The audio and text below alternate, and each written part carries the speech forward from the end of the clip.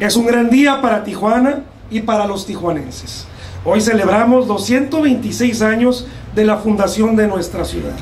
Y como en todo cumpleaños, aprovechamos la fecha recordando nuestro pasado y analizando el presente para así poder planear nuestro futuro. Con el paso de los años, la historia de Tijuana se ha ido dibujando de múltiples colores y texturas repletas de mitos, historias y leyendas que han convertido a esta esquina en un imán irresistible para el turismo, rico en cultura, diverso en los deportes, estratégico en los negocios y estable para el bienestar de miles de familias que vienen de todas partes.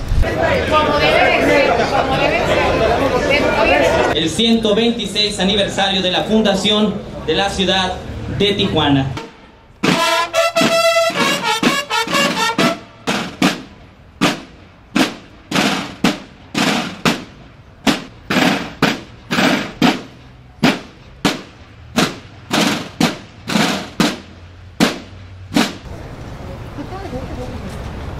Vamos a pedirle a continuación al maestro Mario Ortiz Villacorta la... El rancho se llamó Tijuana, el nombre de nuestra ciudad no proviene de dicho rancho, ni nunca se ha podido establecer oficialmente con documento alguno la existencia de esta mítica mujer de la que solo se enuncia su nombre. Juan Crespí, fraile de origen catalán, que anotó en su diario su llegada a lo que hoy es Tijuana, en la línea internacional y entregarse al capitán Burto de la guarnición de San Diego el 8 de mayo la necesaria la presencia de un ejército, sino el apoyo técnico y material. También nos atañe, pues Tijuana perteneció a esta parroquia hasta mil y poco conocidos, sea el de marzo de 1942, en que el pueblo de Tijuana se enfrentó a la por la Torre de Tijuana en esta plaza Club de Leones.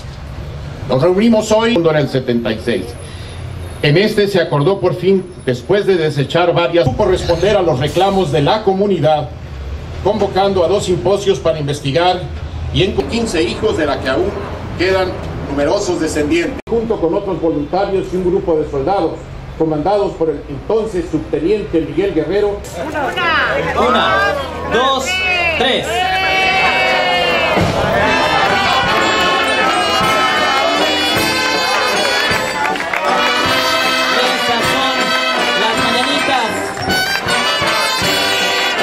Supuesto, llevadas a cabo con la banda de música del Ayuntamiento de Tijuana.